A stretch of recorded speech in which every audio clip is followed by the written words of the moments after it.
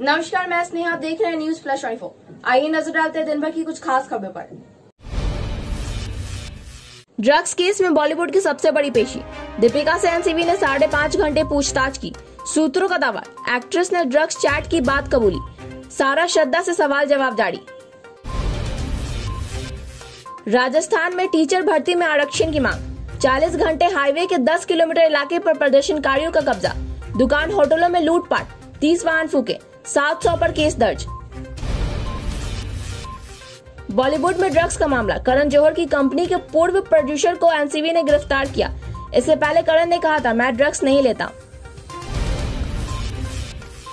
पाक चीन से एक साथ निपटने की तैयारी। एयरफोर्स के फाइटर और ट्रांसपोर्ट एयरक्राफ्ट दिन रात उड़ान भर रहे एयरफोर्स ने कहा, दोनों मोर्चों पर ऑपरेशन को तैयार है।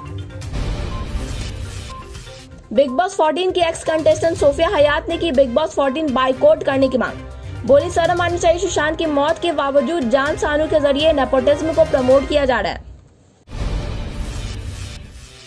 दिल्ली यूनिवर्सिटी यूजी कोर्स में एडमिशन के लिए पहली कट ऑफ़ लिस्ट जारी। 12 अक्टूबर से शुरू होगी एडमिशन प्रोसेस 18 नवंबर को होगी नए सेशन की शुरुआत।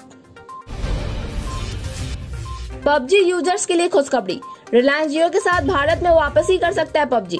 रिपोर्ट्स का दावा, बातचीत फ़िलहाल शुरुआती चरण में है। नीति आयोग ने तैयार किया प्रस्ताव, इलेक्ट्रिक व्हीकल को बढ़ावा देने के लिए बड़ा कदम। बैटरी प्लांट लगाने वाले को तैतीस हज़ार करोड़ का इंसेंटिव देगी सरकार। बिहार विधानसभा चुनाव, महागठबंधन के सीट शेयरिंग पर शिवानंद तिवारी ने कहा, उपेंद्र कुशवाहा के पास कहीं जाने के लिए जगह नहीं है। मन मुताबिक सीट नहीं मिले तो अलग होने की बात कर रहे हैं।